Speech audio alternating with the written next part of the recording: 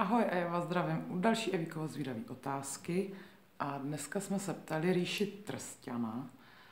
Toho vlastně můžete znát, hrál v ordinaci, ale už je to jako díl. Tam hrál, myslím, že byl i u Čerta a manžela Mirky.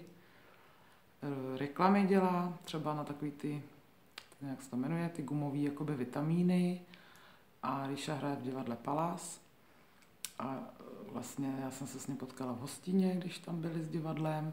Úžasná hra to byla, nebo představení. A Ríša ten mi vždycky pozná, že už se mi pamatuje, z toho mám taky hroznou radost. Tak je strašně fajn, milej, hezký chlap to je. A akorát to videjčko je zase Češi. Vidí, že tam někdo něco natáčí, ale budou do toho krafat. Neuděláte nic. Takže za to se omlouvám, musíte si to když tak pustit třeba dvakrát, i když ten Ríša zrovna není úplně nejhorší, pak mám ještě tři a ty jsou taky blbý, ale bohužel to neumím odstranit, takže musíte jakoby se zaposlouchat a snad, snad z toho něco budete mít, no. No tak jo, tak se pojďte podívat, co nám Ríša na sebe prozradil. Ahoj. Proč říkám ahoj, když se jdeme podívat na video? jdeme na to. Ahoj, já vás zdravím u další Evíkova zvídavé otázky a dneska je tady s náma Ríša Trstan. Ahoj Ríšo. Správně, ahoj. Já vás zdravím.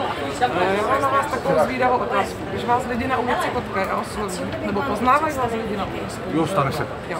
A když vás teda poznají a osloví o fotku nebo o podpis, jak vy na to reagujete? Taky si řeknu o fotku a o podpis. A mám doma dvě krabice. Sbírám to, no Ježíš Maria. Uděláme to hned teď? Uděláme hned, Tak jo. V přímém přenosu. Počkáme. Tak to je super. A zařadí si i Jo, takhle, jako mě podpis. No Ježíš, vždyť to teďka říkám, taky je poprosím o podpis. peruka. O, já napíšu Evík Keke, koukněte na můj kanál na YouTube. Výborně. A dám do krabice doma. Určitě ještě z toho musím dát semačko. Ale no, tak to opravdu jsem si Další do mý sbírky. No tak jo, tak já vám moc děkuji. Ahoj, Miláčku. Krásně, zase někde potkáme.